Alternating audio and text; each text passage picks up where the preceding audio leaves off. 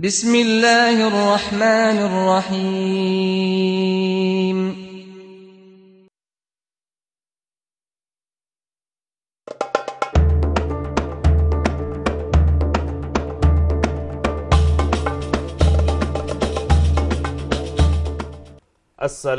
alaikum wa rahmatullahi wa barakatuh. Dear viewers, welcome to another episode of our program Touching Minds. And inshallah, our topic for today is paying attention towards the disadvantage, the most disadvantaged of our communities, for which Allah subhanahu wa ta'ala indeed in the Quran revealed a surah called Surah Abasa, which is about a vulnerable blind man called Abdullah ibn Umm Maktoum radiyallahu ta'ala anhu, who came to our Prophet sallallahu alaihi wasallam. And our whilst he was very busy giving da'wah to other elites of Mecca. But without delay, insha'Allah, first of all, we will be listening to the recitation of Surah Abasa from our guests today, who are both students at the Myland Muslim Center. On my right is Waliur Rahman. Assalamu alaikum wa rahmatullahi wa barakatuh. Wa alaikum assalam. Welcome to the program. And on my left is Yasin Ahmed. Assalamu alaikum wa rahmatullah. Warahmatullah. Welcome to the program. Thank you. And inshallah, like I said, we will be listening to the entire surah of Surah Abasa from our young guest here, Waliur Rahman. If you enlighten us with the recitation, please. أعوذ بالله من الشيطان الرجيم. بسم الله الرحمن الرحيم. عبس وتولى أن جاءه الأعمى وما يدريك لعله يزكى أو يذكر فتنفعه الذكرى. أما من استغنى فأنت له تصدى. وما عليك ألا يزكى. وأما ما جاءك يسعى وهو يخشى. فأنت عنه تلهى. كلا إنها تذكرة فمن شاء ذكره في صحف مكرمة مرفوعة مطهرة بأيدي سفرة كرام بررة قتل الإنسان ما أكفره من أي شيء خلقه من نطفة خلقه فقدره ثم السبيل يسره ثم أماته فأقبره ثم إذا شاء أنشره كلا لما يقض ما أمره. فلينظر الإنسان إلى طعامه. أنا صببنا الماء صبا. ثم شققنا الأرض شقا.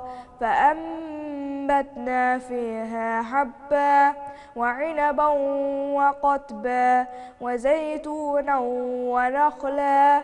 وحدائق غلبا وفاكهة وأبا. متاعا لكم ولينعامكم فإذا جاءت الصاخة يوم يفر المرء من أخيه وأمه وصاحبته وبنيه لكل امرئ منهم يومئذ شأن يغنيه وجوه يومئذ مسفرة ضاحكة مستبشرة ووجوه يومئذ عليها غبرة ترهقها قترة أولئك هم الكفرة الفجرة صدق الله العظيم Sadaqallah. MashaAllah. Waliur Rahman, that was indeed a beautiful the beautiful recitation of Surah Abasa. Allahu Akbar. May Allah Ta'ala reward you and may He give you more tawfiq and ability to recite even better and inshallah make you amongst the Siddiqeen and Qari and those who are the Ahlullah wa Ahlul Quran. Ameen ya Rabbal Alameen. And inshallah, Yasin Ahmad, after this Surah to Abasa, we are very eager to learn about some of the commentary and translation and the meanings of that surah.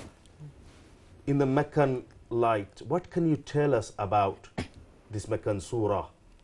Allah subhanahu wa ta'ala is indeed teaching us a lesson here through Yeah. this dealing of our Prophet sallallahu alaihi wasallam with the vulnerable blind Sahabi Ibn Maktoum radiallahu ta'ala anhu. So um, I'll be reciting the translation of Surah Abasa. Bismillah. Abasa wa tawalla. He frowned and turned his back. أن جاءه الأعمى. He, because a blind man came to him.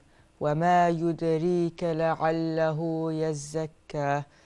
Uh, should the should the reminder be should the should the reminder be A reminder for so he can take lessons from it. Yeah, should a reminder be a reminder? And is it a Meccan period? yeah, And Yeah. what is the background of the surah? Please, if you could tell us a bit more about the background. like it's all about saying like what happened during that time Mm-hmm. when um when that blind Sahabi came Mm-hmm. and like the that that time there was a few like disbelievers. Mm-hmm. so he came in and after that like the prophet he got he I don't know what happened to him Mm-hmm. but he was he felt like um he he, he looked like as if he was a bit shocked Mm, by what happened. Mm, so um after that period mm, like that's most I've known mm. so So فتنفع أو يذكر فتنفعه الذكرى. So that zikr, that nasiha, or that would benefit him. yeah Allah subhanahu wa ta'ala tells us, أما من استغنى. If you want to continue the translation from أو يذكر. So after that benefits him, yeah that nasiha would, in the presence, because he was frowned yeah and he actually uh, didn't pay attention to Ibn Umm Maktoum radiallahu ta'ala anhu. yeah So, Ibn Umm Maktoum radiallahu ta'ala anhu uh, is a Sahabi and he is very vulnerable. He doesn't realize when he's, the Prophet ﷺ is giving it the da'wah to the elites of Makkah and in such a situation. And uh, so that is why Prophet ﷺ pays less attention to him and he is very much eager so he can give them da'wah, the elites of Makkah, the high, high style people who are the leaders of the communities. So if you were to give us a bit of the commentary, inshallah, about As the sentences that follow indicate, he who frowned and turned away was the Prophet wasallam himself. As for the blind man, this was Ibn Umm Maktum, the cousin of the Prophet's wife Khadija. Ibn Umm Maktum came to the Prophet wasallam at a time while he was deeply engrossed in conveying Islam's message to the most influential people in Mecca, the, the heads of the different clans. Ibn Umm Maktum wanted to ask the Prophet wasallam a few ques- questions, but the Prophet wasallam was irked by this intrusion. The words "No, indeed" are here indicative of God's directive to the Prophet wasallam not to show undue deferences to those heedless of him on account of worldly eminence. For Islam should not be presented as though the Prophet wasallam were abjectly begging those who spurned it now honor him by accepting it. It did not become to the Prophet wasallam to invite such arrogant people to Islam, as it would rise the misconception that accepting Islam was for the Prophet's own interest. Nor was it appropriate that they be made to feel important if they accepted Islam. It would prosper as a result, and if they did not, Islam would court disaster. Islam cares as little for them as they care for it. So basically, from that commentary, what you're trying to say that Islam is actually not in need of superiors, sub, sub, some leaders that they have to come to Islam to honor Islam. But we need Islam. We need Allah. Allah does not need us. This is the teaching. And for that reason, Allah subhanahu wa ta'ala warns our Prophet that don't be neglectful. Don't show your any kind of unattention. Show, but show attention to those who are loyal to Islam, those who are vulnerable. Don't think that the people, the leaders will do a great job. No, if the sincerity is the main thing, the quality, which is lies beneath in the hearts of these believers. These are poor, vulnerable people. They will, subhanallah, take, make great contributions to Islam. And these are the people who Allah Himself He values. People like Abdullah ibn Maktum radiallahu ta'ala anhu. And Allah subhanahu wa ta'ala tells the Prophet sallallahu alayhi wasallam, وَمَا يُدْرِيكَ لَعَلَّهُ يَزَّكَّى أَوْ يَذَّكَّرُ فَتَنْفَعَهُ الذِّكْرَى أما من استغنى فأنت له تصدى وما عليك ألا يزكى If you want to continue from وما عليك ألا يزكى Um, عليك ألا يزكى. um, he You know when he Yeah. does not take the nasiha what happens? um, what happens? He is fearful. Yeah, like he he he he wishes like something should be safe with him, and what, according to what he said Mm. about um and you said about um Allah doesn't need us.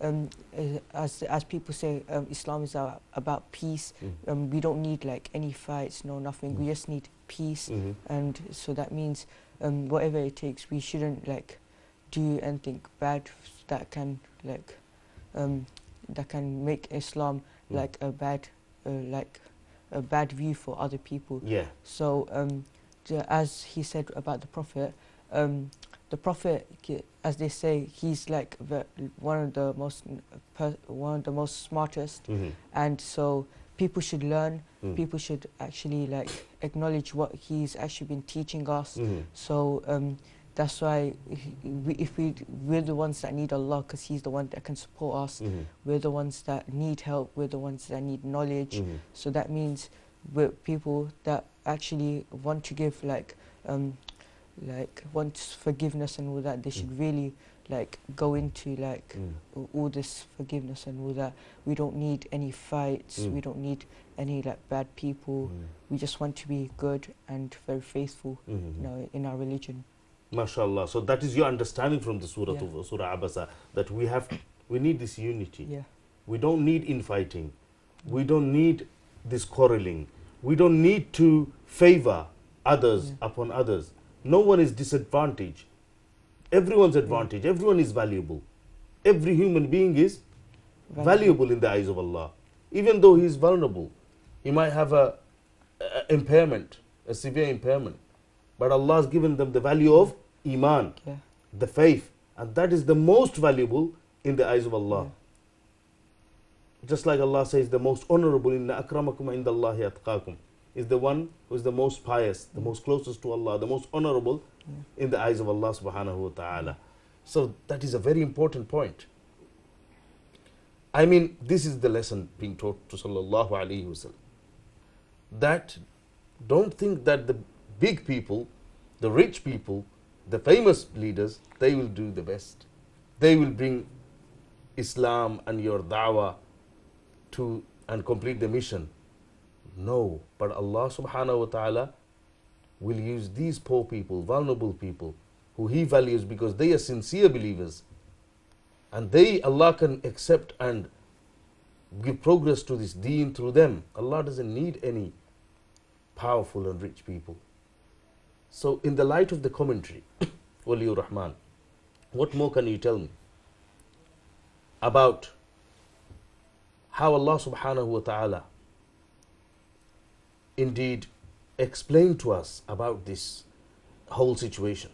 Allah subhanahu wa ta'ala is trying to teach the Prophet sallallahu alaihi Sallallahu wasallam wasallam. not to like favor those who are much, much more powerful and wealthier because accepting Islam is not like Allah does not need them. We, we follow Islam because we need Allah. So ex- like having big famous people in Islam does not matter. Subhanallah. So big famous people wouldn't do any good. Yeah. Allah can take the work of His deen from anybody. Yeah. Example, like someone can be a layman, someone can be a poor person with no s- status in society. But if Allah wants to take, so do you remember that famous hadith where Allah subhanahu wa ta'ala's Prophet sallallahu alaihi wasallam says, Allah does not look at your appearances. Inna Allah la yanzuru Iman. ila ajsamikum walakin yanzuru ila qulubikum wa a'malikum he looks at your hearts your sincerity your actions what you produce what you do he does not look at your bodies or your appearances how you look but he looks at what's in your heart that's all what matters so you, know when you mentioned that commentary about this surah in the second para- paragraph you mentioned something about the elites of Makkah and the situation exactly described in that surah. So, for Islam should not be presented as though the Prophet ﷺ were abjectly begging those who spurned it now honor him by accepting it. So, Islam shouldn't be like a beggar's belief. We don't beg people to become Muslims. We don't convert people that you have to become Muslims. We attract, we rather attract people with the beauty of Islam to come to Islam, isn't it? Yeah. That this is the beauty of Islam. And Islam is such a beautiful lifestyle, a religion, complete code of life. So it's not about converting or begging someone to become Muslim. Allah doesn't need that.